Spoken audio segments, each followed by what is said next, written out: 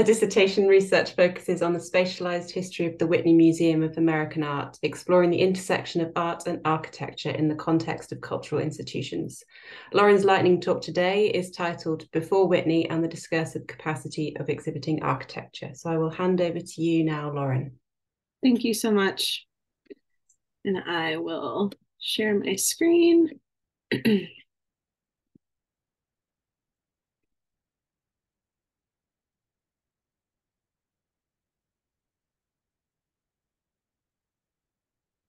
right. Is everyone able to see that? Yes. Okay, great. Thank you so much. Um, so, a major expansion of the Whitney Museum of American Art was announced on the front page of the New York Times on May 22nd, 1985. Along with the description of the project's ambitious program, the feature included a photograph of a physical model foregrounding the proposed addition designed by Michael Graves.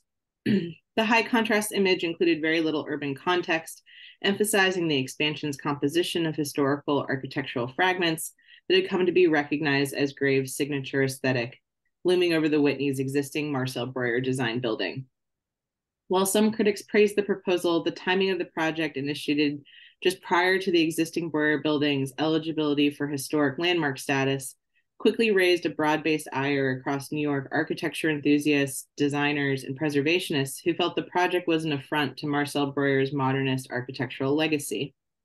The singular snapshot of the proposed exterior was widely republished in the popular and design press nationally, reducing the project to a proxy for a larger emerging divide between modernists and what was deemed postmodernist aesthetics, making the project a symbol for the perceived threat to the stability of the architectural canon constructed during the previous four decades.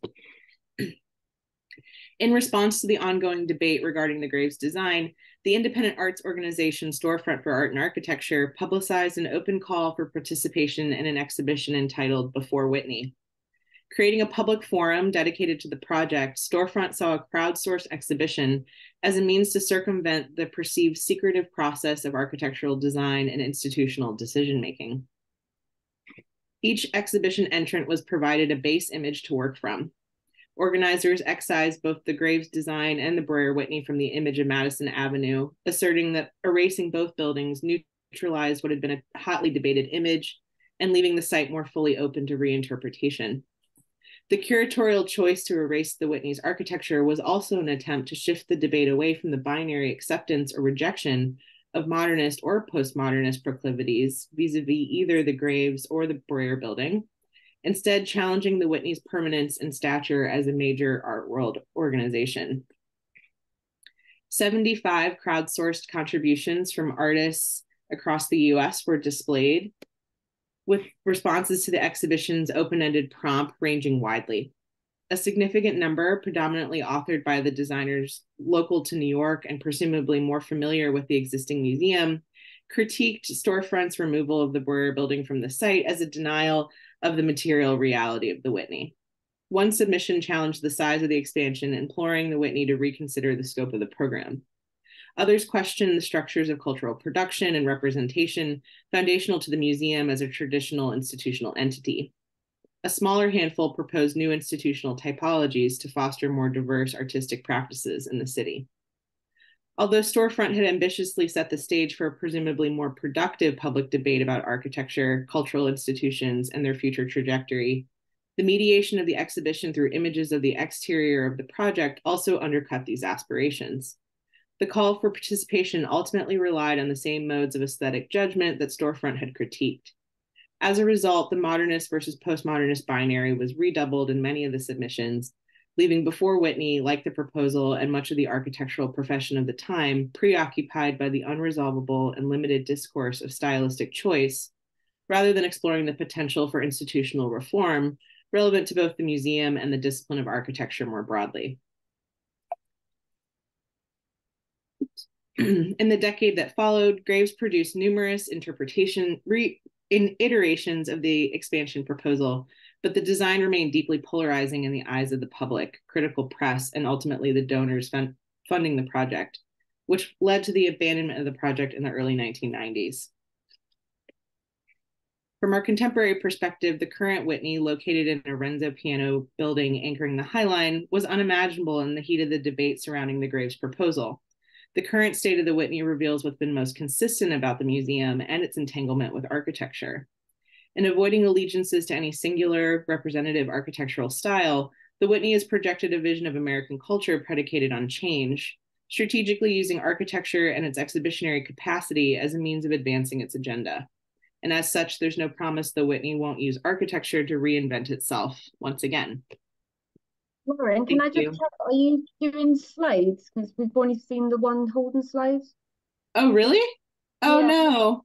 I don't know why those weren't all visible. Yes, I did have slides. Oh, do you but... want to just quickly run, um, run through them? or? Yeah, you're only seeing the first one? Yeah. Oh, no. Okay. Well, um, do, do, let's see. Can you, I'll just stop sharing and try resharing again. I'm sorry about that so much. Can you see this now? Yeah, that looks, yeah, so. Okay, so this was the first slide of the original announcement about the Whitney um, expansion in the New York Times. This is the call for participation from storefront. This is the image that entrance to the exhibition were given as a base drawing to work from. And some examples of what submissions looked like. And ultimately, how the Graves project kind of had to evolve in the course of this discourse and debate around its design. And then what the Whitney currently looks like. Perfect. Sorry about that. Okay.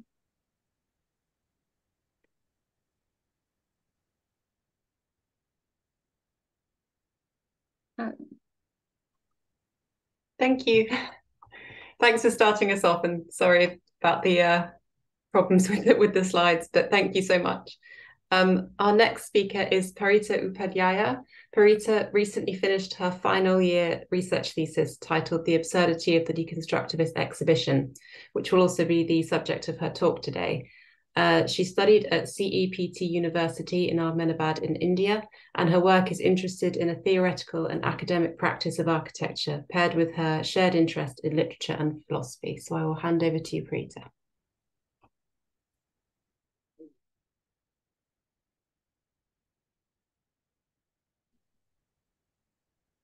Yes, can you see my screen? Hello? Hi. Is my screen visible? Yes, we can see that. Thank you. And it's uh, shifting as I change? Yep. All right, great. Okay, so yes, um, I'm Parita, and uh, I'm going to be talking about uh, 1988's uh, deconstructivist exhibition at MoMA and how it provided a center stage to radical, radicalized architectural thinking that was being conducted in the fringes of the profession at the time. Um, the most striking thing about the curation was it uh, referred to Russian constructivism and deconstruction um, from the fields of art and literature outside the domain of architecture. Um, the curation was heavily politicized and critiqued for being exclusionary, for misrepresentation of ideas in architectural work, and for being extremely form-oriented with no consideration of spatiality or other important architectural markers. Uh, the exhibition was built around and showcased the cultural and intellectual climate of New York, but uh, most importantly adhered to its uh, consumerist and capitalist tendencies. Um, it supported the political conveniences of the involved agencies uh, that overshadowed the political passion of the works and ideas being exhibited. Um, however, it is the same consumerist inclinations of the time that turned architecture into image. And because of the image, it eventually propagated the ideas that hadn't gained attention in the mainstream practice of architecture.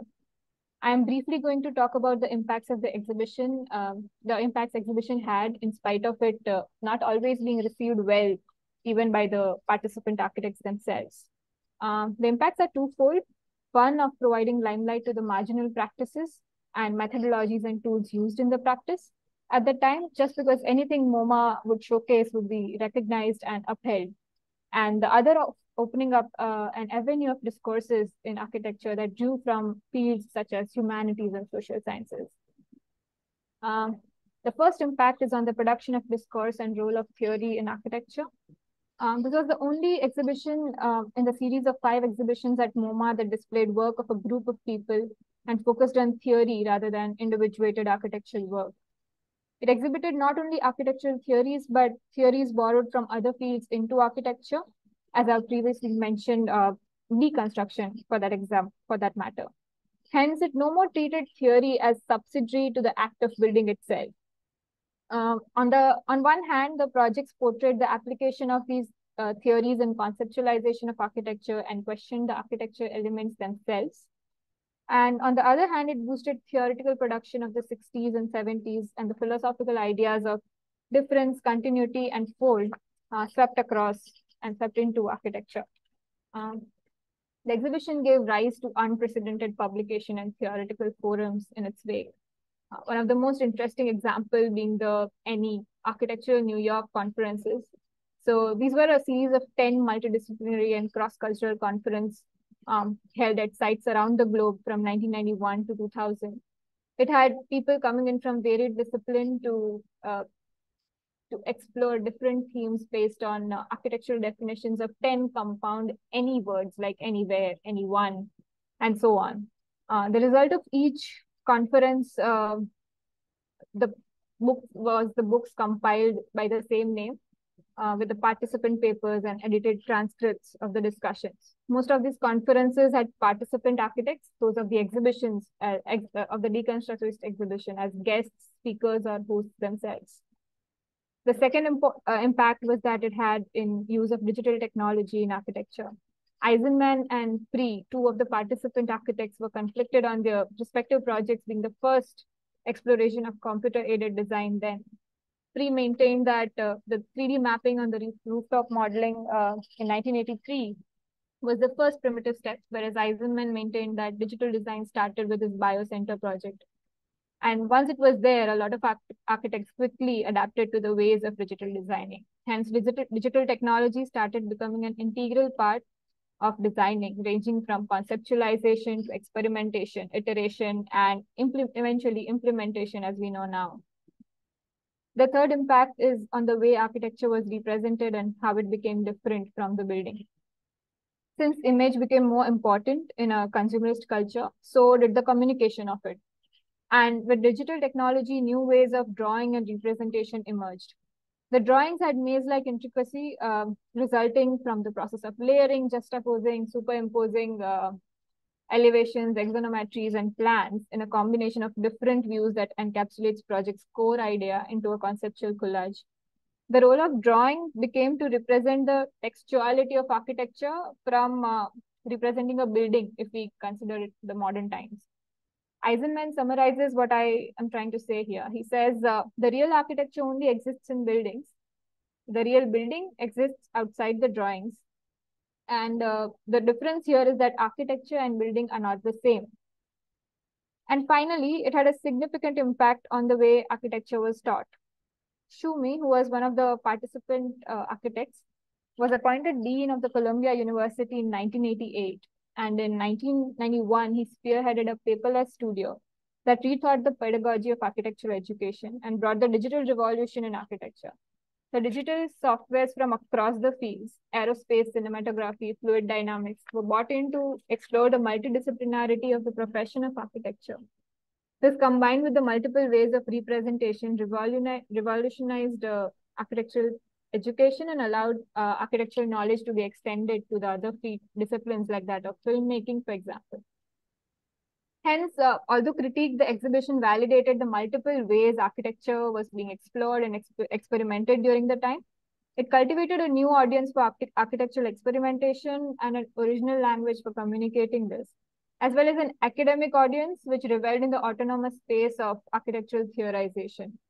It questioned and disrupted the existing relationship of art and architecture, architecture and building, and museum and exhibition, and open up new avenues and themes for discussion on and around uh, architecture. Thank you. Thank you so much. Thank you so much, Parita.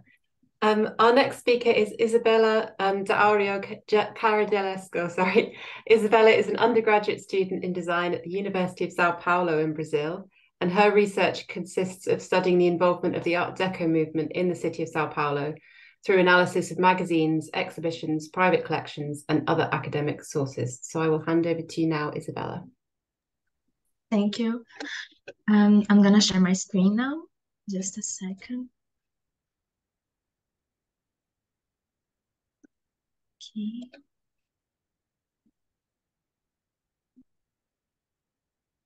Is everything okay? Are you seeing my screen? Yep, that all looks good. Okay. so, hi, I'm Isabela, and today I'm gonna present uh, sorry. And today I'm gonna present a comparison between the between the reception of Art Deco in two different American countries, which are the USA and Brazil. I would also like to apologize for any mistake I might make in pronunciation or writing. Although I understand English and I use it to producing content in this language, so I appreciate your patience. And I think we can start now. Um, my research aims to identify the presence of Art Deco in São Paulo, mostly through the analysis of the Mirante das Artes, etc. magazine, which was a cultural magazine produced by the end of the 60s. But today I'm gonna share a little bit about the exposition history in São Paulo and New York by the Museum of Modern Art. So before I can present the overview of the two countries' history of exhibitions involving Art Deco, I would like to talk a little about the similarities and difference of the style in these different locations. As you know, Art Deco is a French movement, but it gained popularity around the world to the late 1920s and 30s. Both in the USA and Brazil, the style incorporated a cosmopolitan aesthetic, in the USA, the Art Deco production went through two phases, one related with the French movement itself, and other inspired by the German early century production, focused on the functional design and mass production. The first gene, while more iconic, was weakened after the impacts of the Great Depression. And in Brazil, the style is known by its diversity, which englobes indigenous, historic, modern, and European reference. The main inspiration for the style in the country was the French exhibition in 1925 and the French spirit played by modernist artists and scholars such as Regina Gomide Graz, who was one of the first and most productive Brazilian decorative artists. Um, I also took the liberty to include in this slide uh, work of Tarsila do Amaral, who I think is one of the most well-known art Brazilian artists abroad. And although Tarsila is not an Art Deco producer herself, she was also impacted by the French experience producing art at the same time the Art Deco came to Brazil. So I think it's a good way to contextualize when the Art Deco came to the country. And as we can observe, the movement was heavily undefined, often associated with other modernist productions, so in the USA, we have the use of some terms like art moderne, modern, French modern style. In Brazil, we have very similar terms like arte decorativa moderna, which means modern decorative art, or art funcional, which is functional art. And only by the 60s, oops, sorry, only by the 60s, the style uh, earned its, its own name affecting on its perception and study. And one factor that is crucial to my research is the secondary position posed to the style, principally in Brazil. There is many reasons to why this happens, some of them being the association of the style with an elite and European-only production, the subjugation of the decorative arts in the history of art and design in general, and even the perception of the decorative arts as a feminine making, therefore inferior. And to base this talking on expograph elements, I took one museum and one particular collection. For the North American discussion, the Museum of Modern Art was selected primarily because of its great influence on the study and production of art and design among the decades. And for Brazil, I choose to observe the expographic history of the Adolfo and Fulvia Leirner's collection, which is one of the most important collection of decorative arts in the country. So by organizing the history of exhibitions of Art Deco in the in the Museum of Modern Art and of the collection Leirner in general, it is possible to initialize an investigation of the process of the incorporation of the style by canonical study over the decades. Um, one highlight of this comparison is the beginning of exhibitions in each country. In both, you can see that it took some time for the Art Deco style to appear officially in the exhibitions. In the Museum of Modern Art, the first exhibition that contained artifacts today considered part of the style was in 1936, while the style had already appeared in the National's productions by the end of the 1920s decade. And in Brazil, this chronological distance is even more apparent. Although the private collection had started by the middle 50s, it only gained relevance within the style by the 1970s, boosted by two exhibitions at the São Paulo Museum of Art, which is one of the most important cultural institutions in the country. And we can perceive that while the exhibitions of the team in Brazil had just started, in the USA an increase occurred. By the end of the 60s, the revival of Art Deco happened, motivated by a French exhibition in 1966. So that justified the, uh, the increase of interest. And another interesting factor is that by the 19th, the Brazilian exhibition started to reach the North Americans, surpassing them by the new millennium. In 2001, the collection was shown for the first time abroad. And this most recent interest by the decorative arts in Brazil is part of a rethinking of the modernist history in general in the country, focusing on productions that were formerly subjugated. And lastly, it's interesting to to observe that while in Brazil terms associated with modernism were highly used to describe the exhibits, in the USA the style is often associated with exhibitions focused on the daily production and culture of the time. And at the 30s, two exhibitions in the Museum of Modern Art were important for the modernist and Art Deco reception, although they are not listed by the Museum of Modern Art as Art Deco's expositions themselves and they are objects 1900 and today and machine art. And they show it at the time the aesthetics of machine and mass production.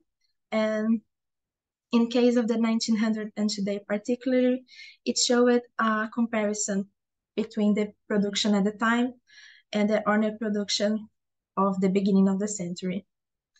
In brazil the first exhibition of art deco of art deco artifacts was exposed then among other modernist styles, being that the modernist times happened at the same time as a Bauhaus exhibition on the other floor of the museum, promoting a conversation between the movements. So as we can see, while the Brazilian expograph circuit tends to value Art Deco as a part of its modernist diversity, the USA presents the style as part of a period associated not only with the art history, but also with the mass production and daily life. And although this is an early stage analysis, I think it's interesting to analyze the history and perception of the style to the exhibition history. And I thank you for this opportunity of research and I make myself available for any questions or contributions. Thanks e obrigada. Thank you so much, Isabela. Um, I should just say, if anyone does have any questions, please pop them in the chat and then we'll just get to them at the end. But because I realise there's quite a lot of talks one after the other, so you may um, have a question at the time. So just pop it in the chat and we'll we'll get to them um, after everyone has given their paper. Um, our next speaker is Portia Silver, who will be discussing Displaying Plasticity, the exhibition design of everlasting plastics. Portia is a second year MA art history student at Case Western Reserve University and her research is interested in modern and contemporary art, focusing on decolonial, eco-critical and gender theories. She was a 2023 summer intern for the US Pavilion exhibition at the Venice Architecture Biennale, supported by the Peggy Guggenheim Collection. So I'll hand over now to Portia. Thank you so much. I'm going to go ahead and share my screen. Uh, everyone see that now? Yep, that looks like it's working. Yes, and should be able to see the, the change too. Um, the Everlasting Plastics exhibit is currently on display in the United States Pavilion at the 2023 Architecture Venice Biennale. I will specifically dis discuss the design features of everlasting plastics as the mediator between the physical experience of visitors and the conceptual interrogation of plastic as a material, as presented in the works of the exhibition. Um, and this is done by creating a factory exhibit or factory aesthetic with, with the exhibition design. This talk draws on my experience from this summer um, and is in the context of an ongoing research project. The exhibition design interrogates how people move through the built space of the pavilion. The Everlasting Plastics curators, Tiziana Baldenebro and Lauren Leving, and the exhibition designers, Faisal Altunbozar and Chloe Mukunbeck, work together to create a holistic and sustainable approach by avoiding single-use plastic in their design. Um, conversations with the artists and architects who contributed the works created um, a factory aesthetic as they were thinking about where plastic is created and located in our world. The visitors encounter the ex exhibit first in the courtyard of the pavilion and are immediately confronted with this industrial aesthetic. Plastic industrial grade welding curtains hang on the front, front face of the entrance, interrupting the neoclassical facade of the pavilion itself and creating an intentional conflict by setting plastic against this traditional red brick building. The curtains are juxtaposed with bright assemblages that feature recycled plastic objects by conceptual artist Lauren Yeager, as you can see here in the courtyard. The sculptures set against the curtains immediately draw the viewer's attention to the multifaceted aspects of plastic, um, as well as the industrial timeline from crude material to commodity. Also in the courtyard are metal benches with plastic rollers, as you can see here. The black plastic rollers themselves spin, referencing industrial methods of plastic production. There are also steel ramps with a tread um, that draws upon an industrial vocabulary. The ramps in the pavilion are also necessary to provide accessibility as the existing pavilion only has stairs. Inside the exhibit itself, the curtains and benches echo the courtyard design. In between the five rooms of the pavilion, a double set of curtains act as a visual barrier between each room and the different works presented, as you can see here on the left of this photo. Passing through the curtains facilitates a strong sensory experience. The stiff plastic strips hit against each other and create noises. There's a strong plastic smell, and visitors can feel the smooth, rubbery texture while moving through the curtains and also experience changes in light and color. After the exhibition, the curtains will be donated to factories for use to reduce plastic waste. Inside the exhibition, the benches are specifically designed to invite human interaction, providing a moment of rest, but also inviting movement through the rollers. It was not uncommon to see visitors, especially children, spinning the rollers as fast as they could, which also created loud noises in the space, interrupting the traditional quiet and sterile gallery aesthetic. The didactics shown here are used to communicate written information about the exhibit and are printed on steel plates instead of using plastic acrylic lettering. This also reduces plastic waste in the exhibition and again contributes to the design of a factory and industrial aesthetic. The curtains, ramps, benches, and didactics create a multi-sensorial aspect through the sights, smells, sounds, and textures throughout the exhibition. These elements implicate the viewer in their consumption and use of plastic while simultaneously challenging traditional design um, in an exhibition by centering sustainability. Additionally, the creation of this factory aesthetic facilitates conceptual and mimetic ties to the works presented in the exhibition.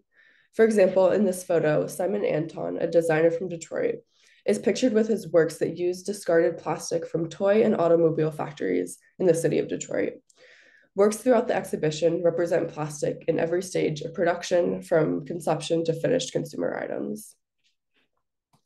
Scholar Max Liboiron has characterized the impact of plastic production and the environmental impact of, of plastic as a form of modern colonization, as the environmental and health consequences are disproportionate for different groups of people.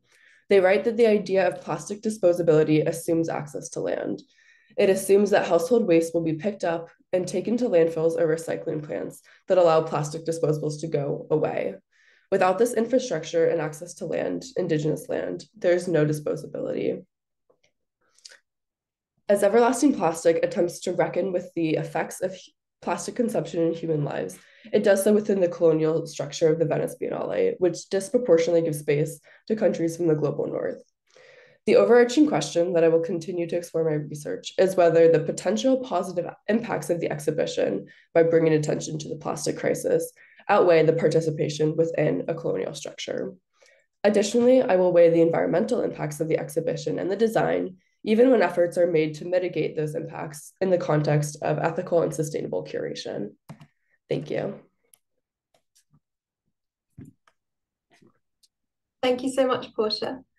Uh, next up, we have um, Chloe Henry. Chloe is a graduate student at the Sorbonne University in Paris. She's currently completing a master's degree in English studies, specializing in American history. Her research focuses on the influence of fashion in the context of social movements and in the construction of identities in the 20th century. And today, Chloe's paper is titled The Black Fashion Museum. Thank you very much. Um,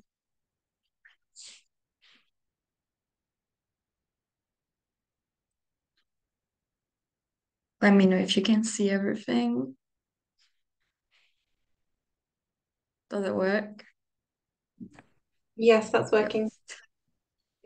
Perfect. So uh, in this conversation of displaying designs, um, I want to talk about what have failed to be displayed in the previous decades uh, or centuries um, and which is the place of Black fashion in fashion exhibition and fashion museum and in the preservation of textile in general.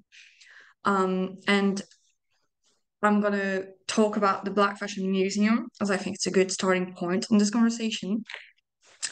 Um, starting by talking about the main character of this museum, Lois K. Alexander Lane, who was the founder, but also a great woman who did a lot of things in order to preserve, restore, and just uh, promote Black fashion. Her name has kind of disappeared from history book, which is a shame. She's she was really incredible. Um, in 1963, uh, she wrote her master's thesis at the age of 47 um, on uh, the role of the Negro in retailing in New York City from 1863 to the present. This is a really important um, point in her life because she wrote it after a teacher told her that Black people had not contributed to uh, the fashion world, uh, which was obviously untrue, but was thinking that was just accepted as fact and she didn't want to accept it as fact she actually wanted um, and here i quote to dispel dispel the myth the myth that Black people did not contribute to fashion history. Uh, in 1966, she opens the Harlem Institute of Fashion in Harlem, shock. And um, uh, there, she gave classes, free classes to the Black community in Harlem to obviously learn how to sew and design, but a lot of other courses. So there's a lot of newspaper giving a lot of like all the courses, but they kind of all don't agree with each other. But there was apparently also teaching mathematics and physics and grooming and fashion history. So we see the first hint um, of needing to preserve or at least share a history that is spot gone. Um, but this institute was basically to give independence and autonomy to a community um, that did not necessarily have a lot of open doors um, in the fashion world and give them also the codes of what is it like to dress proper etc uh, in 1979, she continued what she had started with the fashion history class uh, in the institute, and she opened the Black Fashion Museum in Harlem on 126th Street. Um, and in 1982, she wrote her book Black in the History of Fashion. So you can see that Lois K. Alexander Lane, throughout all her life, you like until she died, um, just spent her life dedicating dedicated to preserving, restoring, and promoting Black fashion. And this is where the Black Fashion Museum comes in action. So I'm going to quote her. This is what is this something she said in a newspaper article in 77 so two years before the magazine uh, the museum opened and this was to explain why she did it obviously this was also to call for donation to build the collection of the museum so she said it's time we destroy the myth sorry it's time we destroy the myth that Black people are newfound talent in the fashion industry. We came to these shores as creative people, and we still are. The ideas and creation of our mothers and grandmothers have been copied down through the ages without credit. We must now right the wrong that has been perpetrated perpetrated against people of African descent in the fashion business over the past 300 or so years. You can see a couple of pictures of uh, Miss Lane um, in the museum. Um, it might be in two different locations. The museum has been relocated a couple of years later in Washington. Um, so I, this I chose three examples of dresses that you could find in the museum um, that kind of showcase what was available and kind of the limits that the museum had to face. So you have a dress sewn by Rosa Parks, who many people forget was a seamstress before she was an activist. Um, and this is a way for the museum to remind people that fashion is inherent to the to black history and that it is always somewhere in the background that you can always relate fashion to the black community somehow. Um, in America, almost a lot of slaves were um, came with this uh, heritage of textile sewing and passed it down from generation to generation. This is how Mrs. Lane also learned how to sew. It's very organic. Um, so this is a good reminder of that. And um, on the right, you can see a dress designed by Ann Lowe, who was um, the designer. So she was a black woman. She was the designer behind Jenny Kennedy, uh, Jackie Kennedy's dress, wedding dress, um, who was very famous, reproduced a law, But a lot of people forget that it, it was a black woman who did it. So this is again always in this need to replace black people in the narrative of fashion where they have been excluded for so long and even um, made invisible purposefully um, because it did not suit a global narrative. If you've ever taken a fashion class, chances are you've only studied Europe or America and the rest of the world or everything else is ignored. So this is in response to that. Uh, in the middle, you can see a dress uh, done by an enslaved woman in the 19th century. Um, and this is where you can really start to notice the challenges that the museum had. So this is the only dress made by, by an enslaved woman, and this is also one of the oldest dress that the museum collection had. Um, Unfortunately, the museum was mostly constituted of um, contemporary dress that were given by the black designers while they were still alive. So there's a lot of Peter Davis dress that he gave himself because he was friend with Miss Lane. There's a lot of dress from Broadway, uh, from the um, what's the name? Oz musical um, a lot of really, really recent dress because this is really, really hard. Textile is very fragile and often doesn't survive time. And on top of that, every dresses that was made by black people, especially during colonialist time or during um, slavery, tend to have been forgotten, not documented, just burned down if needed. Um, it it was not considered valued enough to be preserved, and so when the museum had to open, so two two years even before opening, they started appearing in newspaper. Lois Alexander Lane and her husband touring America, asking a newspaper organizing show to get don- financial donation, but also requesting people to just check in their closet if they might have something that need preservation that could be displayed that could be preserved and that was one of the biggest challenge the museum has to face um, unfortunately the museum had to close down um, Ms. Lane passed away in 2007 if i'm not mistaken and um, once again the problem they had faced in having all those dresses uh, buried in closet they had to face again because the when the museum when mrs lane died her daughter inherited the museum but the founding were lacking and all the dresses had to be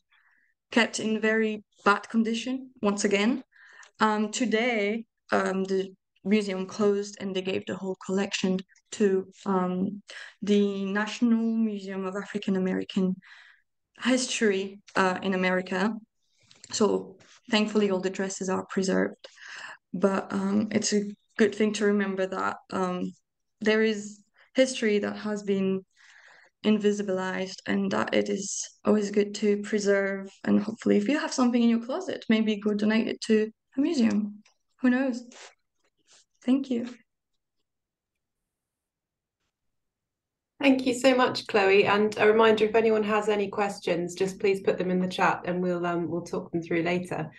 Um, our next speaker is John Binchy. John is a student on the MA in History of Design programme at the Royal College of Art and the Victoria and Albert Museum. He's an Irish design and art history hist historian, sorry, interested in 19th and 20th century European cultural history with an emphasis on decoloniality within the museum space. So I will hand over to you, John. Uh, thank you, Alex, for that introduction. I'm just going to try share my screen now. Can you all see that?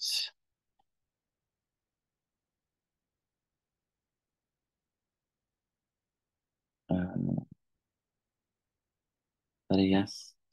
Um, and if I do this, can you still see, can you see my notes or you can you see the screen still? Well, we can just see the screen. Okay, and if I do this, it's still fine? Yep. Okay, great. Yes. um, so today I will be discussing a pivotal event within the world of design and the history of curation. Uh, that is the 1931 Colonial Exposition in Paris, with a focus on a contemporaneous counter exhibition held by French surrealists and their contribution to uh, the to 1930s colonial and curatorial discourse. So, with regard to the official Exposition Coloniale, uh, with an estimated 8 million visitors and running for a duration of about six months, um, this was an enormous effort on behalf of the French government, who at the time controlled the second largest empire in the world, um, to display these diverse cultures and the immense resources of France's colonial possessions. So, designed as a tour of the world in one day, um, indigenous buildings were altered in scale and their elements were adapted and functioned by European architects for the exposition. However, despite the overwhelmingly positive public reaction to the Exposition Coloniale, uh, there were some dissenting voices that could be heard amidst this clamor of, I guess, this colonial fair. Um, and these were voices that would eventually find common ground in a rarely studied counter exposition dubbed La Vérité sur les colonies, or The Truth About the Colonies, um, organized, as I said, by the French surrealists as a formal and I suppose tangible boycott um, of the official Exposition Coloniale. So, starting in 1925, with a pamphlet circulated in support of the rebels of the Rif Valley fighting um, in Morocco for independence from France, the Surrealists actively adopted an anti-colonialist, anti-imperialist stance. And so during the 1920s and 30s, the Surrealists regarded their paintings and writings not as aesthetic objects, but rather as catalysts for cultural change. So this counter exposition, although it contained no actual surrealist paintings, was in a way an ideal surrealist work. Uh, it was collective and dialectical while fusing political and psychological realms. Um, and because naming this, because naming the counter exposition the truth about the colonies um, suggests an explicitly didactic lesson, um, it appears to somewhat unproblematically submit itself to the rules and parameters governing the realm of factual and I guess moral edification. But I think when examining this counter exposition uh, through a 21st century lens, um, surrealism's kind of uneasy relationship with colonialism and primitivism quickly becomes apparent.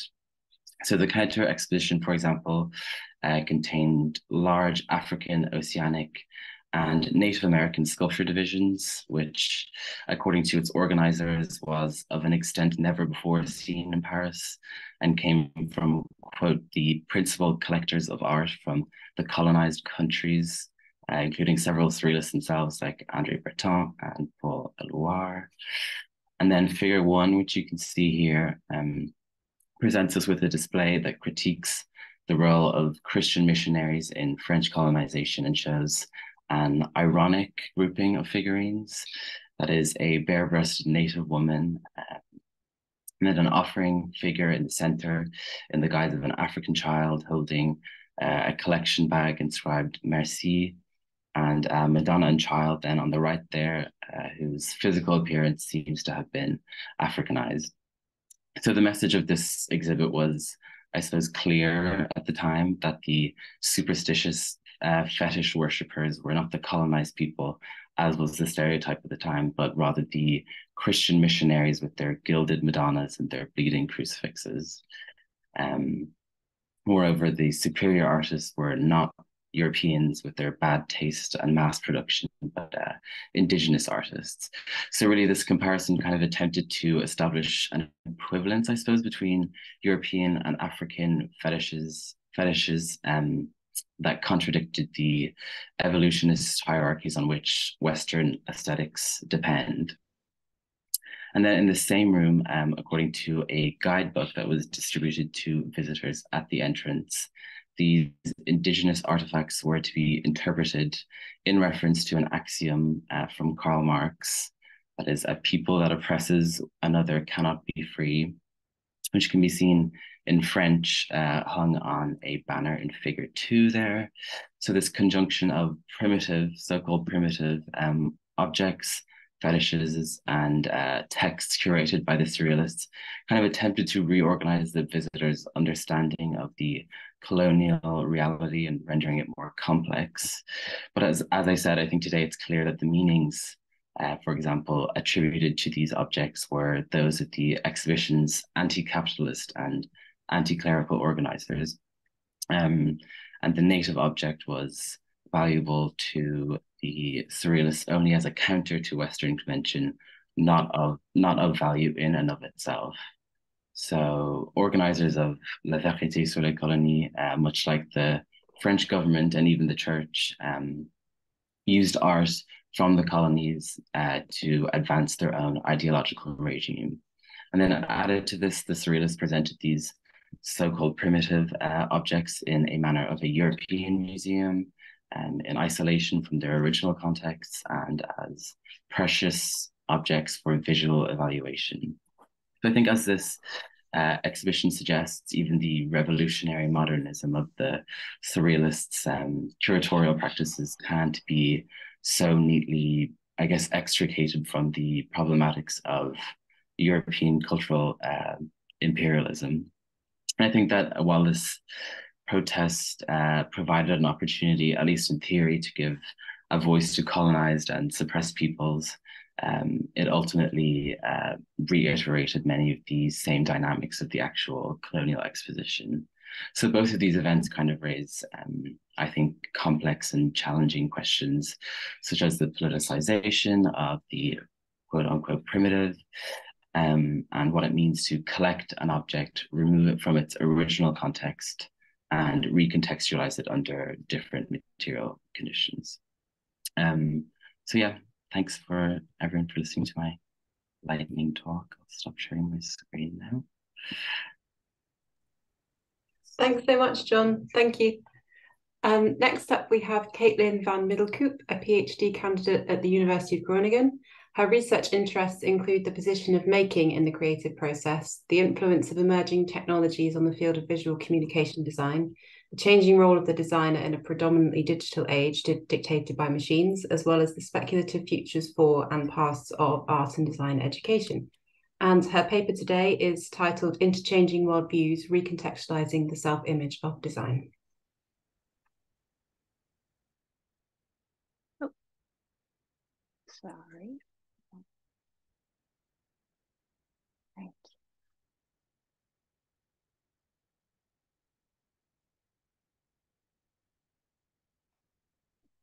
Can you see my screen? And it's, yeah, all right. Uh, thank you for um, the introduction. Um, the two cases displaying design that I will compare uh, today, uh, they were designed 11 years apart in the fall semester of 2012 and the spring semester of 2023 um, with the use of different uh, software.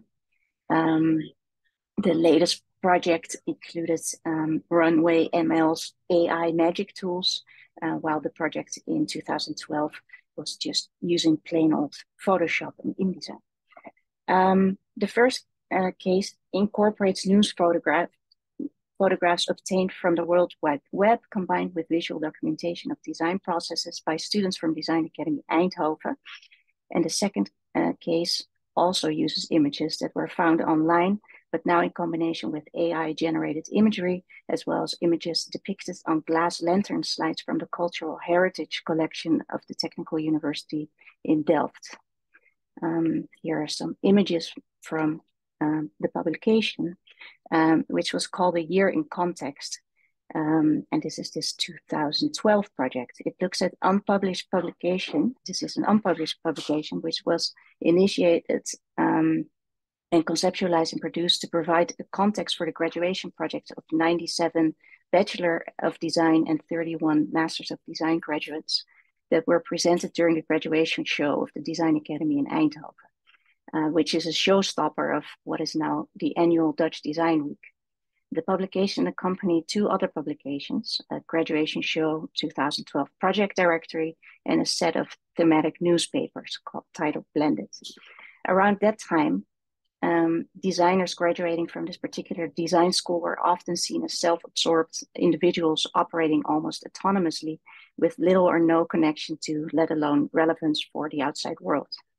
Two months prior to the start of the academic year 2011 2012, this issue of social relevance had been addressed by State Secretary for Education, Culture and Science, Halbe Zijlstra.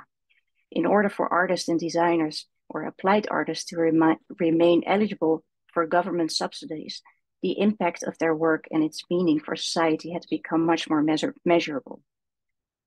So as the curators and designers of the 2012 graduation show and its accompanying publications, it was our objective to present the 137 individual students' perspectives as part of a larger, more meaningful whole. Although most of the concept behind the student project were presented in context were materialized between February and June of 2012, Many of the first ideas leading up to their final uh, form already came about earlier than this, engaging aspects of contemporary life in situations and circumstances that reach beyond the physical walls of the school. Sorry.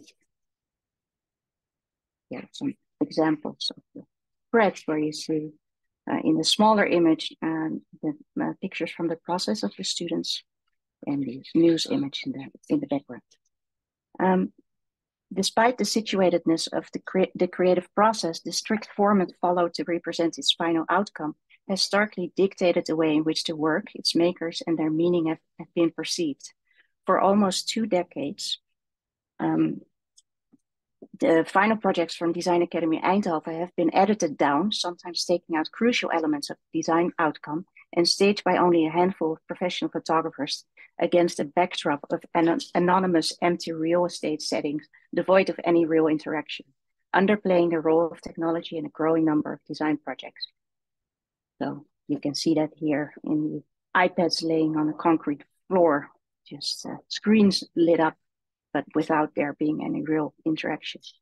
The, the contrast, the lack of real, real human world relations we used in year, year in context to provide space for the process and circumstances behind the work. For this, we selected the most important news event that happened during the 2011 2012 and organized them both chronolo chronologically and visually, creating a fluent backdrop of changing times. However, right before the deadline to get the book printed, a fear of copyright infringement put this part of the project on hold. So you're actually the first ones to see these spreads uh, come about.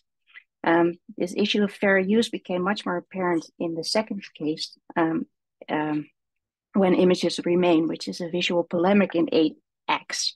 Um, and it's a much more recent project um, in which the context surrounding pre-existing images, which are these glass lantern slides from the heritage collection of the TU Delft, uh, were mixed with prints and images used in a mandatory visual communication course in the master program designed for interaction at the Faculty of Industrial Design Engineering. And these images play a central role. Marked as heritage, um, one of the few cultural areas unaffected by the budget cuts of the State Secretary Halbe which I mentioned before, and the historical importance of TU Delft's collection of glass slides as a whole was already established. The slides were used for educational purposes between 1900 and 1950. Yet a single slide, their relevance and specific contribution towards this whole was less clear. Most of the context in which the individual images gained uh, their meaning uh, are unknown. They are snapshots in a time which continues uh, irrevocably. But does this make their design less meaningful?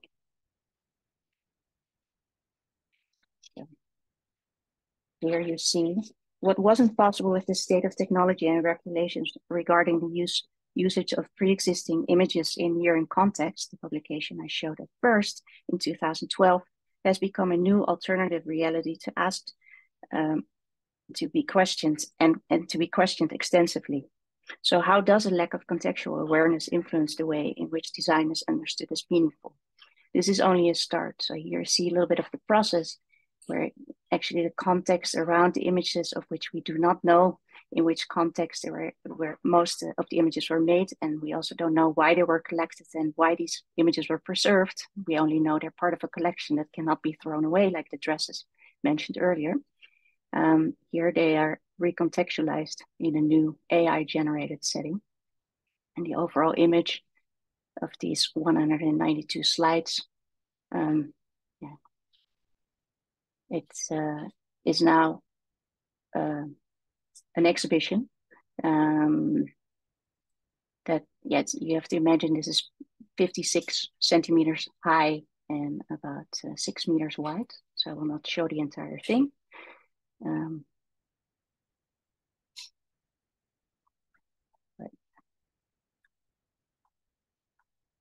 rapidly go through it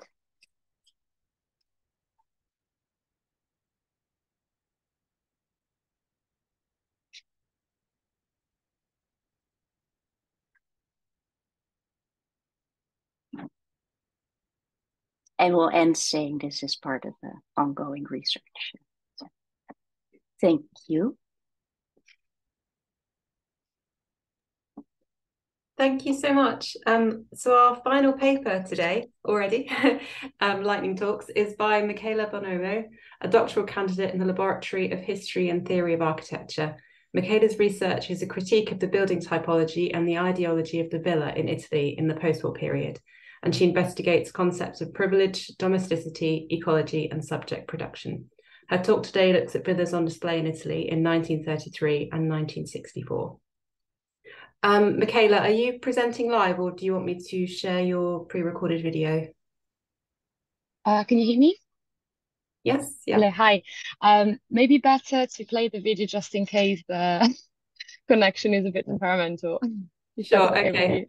Let me know Thank if it's you. working. Okay, sure. Thank you.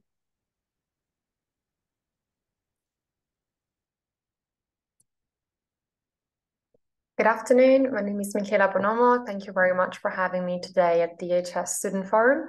So as it been introduced, I will be presenting today a short extract of my PhD thesis, which I'm carrying out in Lausanne in Switzerland. And the title of the presentation is Constructing the Dream, Villas on Display in Italy, 1933 and 1964. So in my PhD thesis, I look at the typology of the villa or holiday villa to be more precise, which is a building that is not new. It's been around for centuries. It was invented in the Roman times. And I actually borrow um, the definition that the Roman had of the holiday villa as villa marittima or villa suburbana, which is a building that has three main characteristics. It's intended solely as a pleasure villa, it's devoid of any productive element, and it's often located on the coast by the sea. In my PhD dissertation, I actually look at the 30 years following the Second World Conflict, and I analyze five case studies of famous architects to tackle different themes that I believe were are characteristic in the typology of the holiday villa. It's also a criticism of the proliferation of holiday villas in the post-war period and in the first chapter, I look at villas through media, through movies, exhibitions, and publications. And today I will be looking at a subchapter. The subchapter focuses on two exhibitions, one of which was actually not held during in the post-war period, but in the during the fascist regime, so the 1930s, at the Triennale of Milan, which is a very famous institution by now, and it held it's located in the Palazzo dell'Arte, the first exhibition was held in 1933 entitled Stile Civiltà. So this exhibition was uh, held during the fascist regime and it actually had uh, exhibitors from all over the world. But what I'm focusing on is not what was exhibited within the Palazzo dell'Arte, but outside of it. It is in fact the first time that pavilions, one-to-one prototypes, are built in the garden of or Palazzo Sempione surrounding the Palazzo dell'Arte. They presented a, a, wide range of different groups, uh, of different views of architecture uh, by different groups of architects, and I will focus on the five holiday villas pavilion built um, and that you can see at the top of this map. Gio Ponti, who was the chief editor of the architecture magazine Domus at the time, celebrated these five holiday villas, which in his mind was symbolizing an alternative to the bourgeois villa. In fact, they were meant to be intended as prototype, easily reproducible for their innovative building system. They all shared common traits. They had a very simple plan, a front garden, veranda, and the application of the latest technology. And they were meant to also be built in different contexts on the, of the Italian peninsula. So the hillside, lakeside, mountain villa, seaside villa, or countryside villa, as you can see here. In my dissertation, I look more closely at the comparison between these different buildings, but what I wanted to highlight today is that each of these buildings were in fact a built like a built on their own. They had all uh, manual where the different instruction of assembling and disassembling were pre presented, and they were meant to be very easily reproducible they were also built with prefabrication, uh, tech, prefabricated uh, latest technology. And uh, in certain cases, they could also be quite complex, like in the case of the seaside villa, which was actually on two floors, suggesting a potential view towards the seaside. And this building were actually built, assembled, and disassembled. So they only lived for the space of the exhibition. But as Flavia Mar Marcello has argued, the fifth triennial exhibition was to showcase this pavilion as a physical manifestation of an idealized lifestyle, as this architecture cemented the position of a new ruling middle class and offered a sense of opportunity to workers wanting to improve their lives. And in fact, uh, with the period I'm looking at, the economic miracle, social mobility allowed more families uh, to enjoy a, a, level of prosperity never enjoyed before. And the period I look for, I look at, which is 30 years, I also argue that during this period there was a proliferation of holiday villas, and in a way, it was part of an implicit state government project, one of, one of which was characterized by three main strategies, which were, I argue, uh, put forward for, uh, for the government of the Christian Democratic that were ruling the country, which were a support of the low-tech construction sector, opposition to regional master plan, which basically meant that until the mid 80s, people could build pretty much everywhere on the peninsula without any restrictions, and support of the home ownership policies for families. This is obviously a simplification of what happened, but in a nutshell, more families were able to, to dream of a villa and to potentially build one. And this was also possible, obviously, to the network of infrastructure that started um, to capi- capillary connect all the most remote corners of the peninsula, allowing more families, thanks to the developed welfare state, to enjoy a holiday during the seaside, sea, at the seaside during uh, their vacation.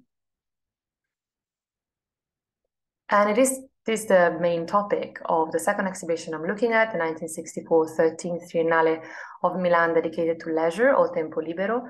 This exhibition is entirely dedicated to how the work life of people is divided into um, leisure and works, work time. But also there's an inner criticism in this exhibition and on how the, the holiday has also obviously prompted more construction there was in this, as you see in this corner, a criticism uh, on the, the, proliferation of buildings and speculation on the coastline, motivated mainly by the race towards the sea, by the way in which the sea is now seen as an enjoyable uh, natural force, as an enjoyable and tamed natural force in a way. And the garden of the Triennale di Milano are still, uh, for this exhibition, hosting temporary pavilions and again, villas are still prefabricated villas, uh, which uh, is a, a, technology that continued to be at the center of theoretical speculations, especially in the end of the 60s, the offering of new materials was further expanded, raising the concrete possibility of movable and expandable unit, such as, for example, these two units I'm looking at here, the Casa Prefabbricata per Vacanze, so holiday homes, where you see a grid easily rep replicatable and also constructible following a modular grid of 90 by 90, entirely made of timber with paneling uh, of concrete panels. Or Casa Natura nature house, which had to adapt to the different condition of the landscape. And the criticism that I'm posing here, really concluding my presentation, is that there is a huge and visible contradiction between the intention of promoting prefabricated models within these exhibitions and the reality of the Italian construction industry, which was much more fragmented and was actually favoring small to medium firms, bespoke construction, and especially in the construction of villa, we see an experimentation, which is a constant in villa typology of new technology, of pushing boundary, of bespoke construction, which is extremely uh, different and um, less sustainable than the prefabricated models exhibited in uh, the two triennales. And another harsh reality, which I tackle in my thesis, it's the impact of uh, villas on the landscape an extreme relationship with the landscape, which was only possible due to the lack of planning policies, which would have protected the most beautiful coastal area of construction. So the villa is seen here in my thesis as a main form of colonization of the coast, paving the way for the following forms of urbanization to come. And to conclude, both Triennale's exhibitions so the architectural exhibition is a genre that can function under different political regimes but nevertheless promoting and showcasing the architectonic possibilities of one particular building type, the villa. The type, in fact, remained the same. What changed was the way in which it was represented. But at the same time, both editions of the Triennale can be considered as a mixture between political propaganda shows, fairs promoting the building industry, and more sophisticated exhibition of architectonic invention. And I would conclude that in both Triennale, the representation of architecture, and in this case, the representation of the holiday villa, but not architecture itself, was challenged inside the Triennale, but not outside of it.